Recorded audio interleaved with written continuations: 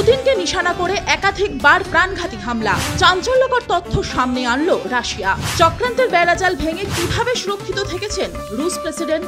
এই প্রথম নয়, এর আগেও একাধিকবার প্রাণঘাতী হামলার সম্মুখীন হয়েছেন ভ্লাদিমির পুতিন। ক্রেমলিনের ওপর জোড়া ড্রোন হামলার খবর নিয়ে যখন বিশ্বজুড়ে শোরগোল সেই সময় অতীতের সব হামলার তথ্য এবং পরিসংখ্যান সামনে আনলো রাশিয়া। মস্কোর দাবি এই প্রথম নয়, আগেও চারবার রুশ প্রেসিডেন্টকে হত্যার চেষ্টা করা হয়েছে। তবে প্রতিবারই হামলা এড়িয়ে সুরক্ষিত থেকেছেন পুতিন। কোথায়, কবে, কীভাবে হামলা চালানো হয়েছিল, আসুন দেখে নেওয়া যাক। গত বছর দুবার হামলার মুখে পড়েন ভ্লাদিমির পুতিন। প্রথম হামলাটি হয় চব্বিশে ফেব্রুয়ারি, অর্থাৎ রুশ ইউক্রেন যুদ্ধ শুরু হওয়ার পরপর। দ্বিতীয় হামলা হয় মে মাসে।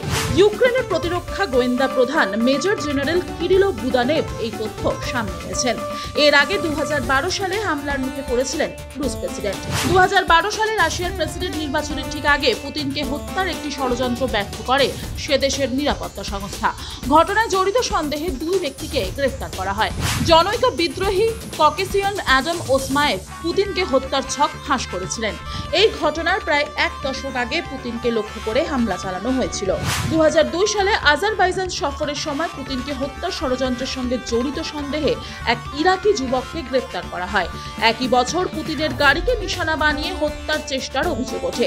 যদিও সেই পরিকল্পনা ব্যর্থ হয়। দু হাজার তিন সালের অক্টোবর মাসে ব্রিটিশ পুলিশের সন্ত্রাসবাদ বিরোধী শাখা পুতিনকে হত্যার চক কষার অভিযোগে দুজন ব্যক্তিকে গ্রেফতার করে। তবে প্রতিবারই চক্রান্তের সব জাল ভেঙে সুরক্ষিত থেকেছেন পুতিন। বুধবার আরও একবার রুশ প্রেসিডেন্টকে লক্ষ্য করে প্রাণঘাতী হামলা চালানোর অভিযোগ তুলেছে রাশিয়া। মস্কোর দাবি, পুতিনের বাসস্থান ক্রেমলিন লক্ষ্য করে জোড়া ড্রোন ছোড়া হয়েছে। অভিযোগ, পুতিনকে হত্যা করতেই এই নাশকতার ছক কষেছিল ইউক্রেন। যদিও সে ছক বানচাল করে দিয়েছে রুশ সেনা। গুলি করে ড্রোন দুটিকে নামানো হয়েছে। সেই সঙ্গে জেলোনেস্কির দেশকেও পাল্টা অভিঘাতের হুঁশিয়ারি দিয়েছে মস্কো। যদিও হামলা চালানোর অভিযোগ অস্বীকার করেছেন ইউক্রেনের প্রেসিডেন্ট জেলোনেস্কি। তবে প্রেসিডেন্টকে লক্ষ্য করে হামলা হলেও মিল একটাই, এবারেও সুরক্ষিত রয়েছেন ভ্লাদিমির পুতিন। ব্যুরো রিপোর্ট, আজ বিকেল।